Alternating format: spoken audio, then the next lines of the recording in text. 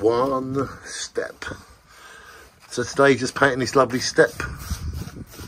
My very good friend Carl came along and concreted all this edge to stop the water running underneath. So now to protect it, just painting it.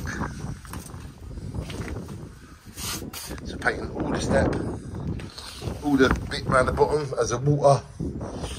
So yeah, this is how to work. Work truly works and I like to preserve the work. So once you concrete the step, to make the water go in a certain direction, it's nice to paint the step. And then painting the step protects the step. So this is how we work. Work works. It's July of the year 2023. I love working because it keeps me fit. And keeping fit is what I'm all about. So I'm going to work, paint all these steps, get some more things, do them. And everybody else keep working as well. People will hate you for working. People will hate you for not working. People will hate you for going places. People will hate you for not going places I just got to the stage of my life where people hate you for everything.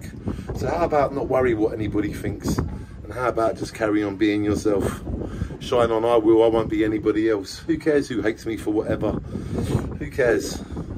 Get on with your own life and shine on. I'm painting my step. No disrespect. I'm just painting my step. Who cares what anyone thinks? On.